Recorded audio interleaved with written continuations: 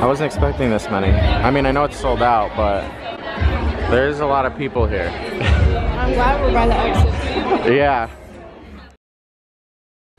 Hi guys, good morning. We are getting ready to go to see Jason Nash downtown at the Comedy Comedy Club slash restaurant. It's gonna be fun and exciting. And yes, still waking up a little bit, a little bit. Well, we're downtown. We found the parking garage. It's the most stressful part of doing anything downtown is finding where you're gonna park.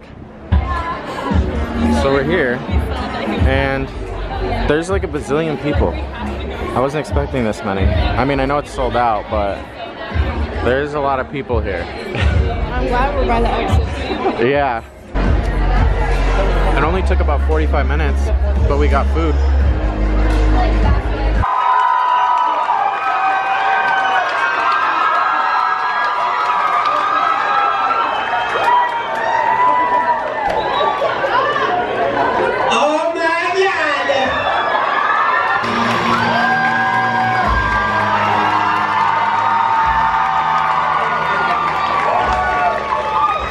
So nice, you guys. Thank you so much. Trish is the best. She came to support me today, which is really nice.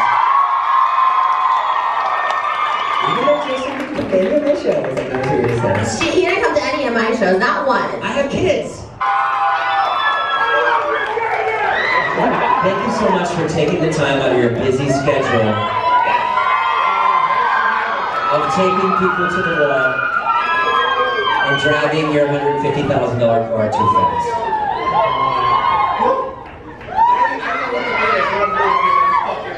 Good, good. The show's great. They're, they're amazing. Their crowd is amazing. We've never been in Phoenix, no. So the show was a lot of fun.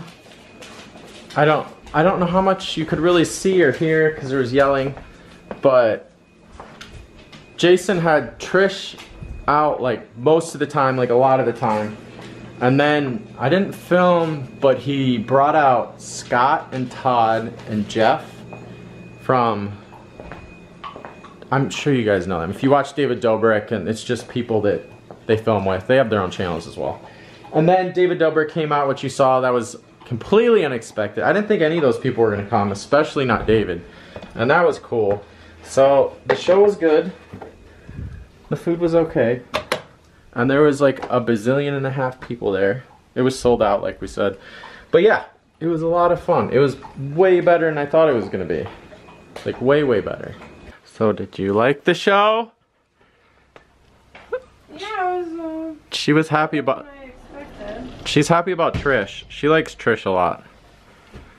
I mean, I don't know about a lot, but I like Trish. She liked Trish the best out of everybody that was there, including Jason. Right? Yeah. Yeah. But no, it was a surprising show. I like their group of friends too. Like they're fun to watch. And...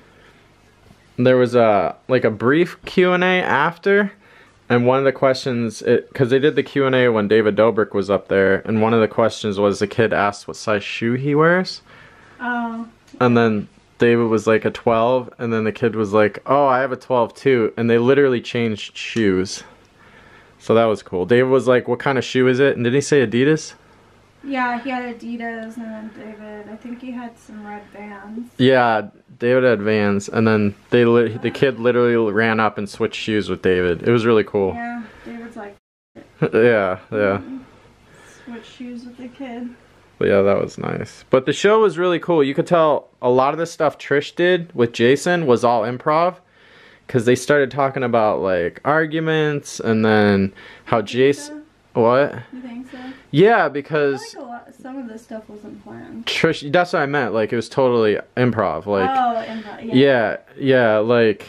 I like- feel, I feel like they just kind of winged the whole show. No, it seems like it said there was the only like. thing that was planned out was the PowerPoint. There was a couple. PowerPoint presentations, yeah, but all the other stuff was pretty much you could tell because Trish started bringing up, or David brought something They all up. brought up pretty personal stuff and we're talking about it. I feel like it, the whole thing was pretty much a therapy session for all of them. Yeah, it was really really good.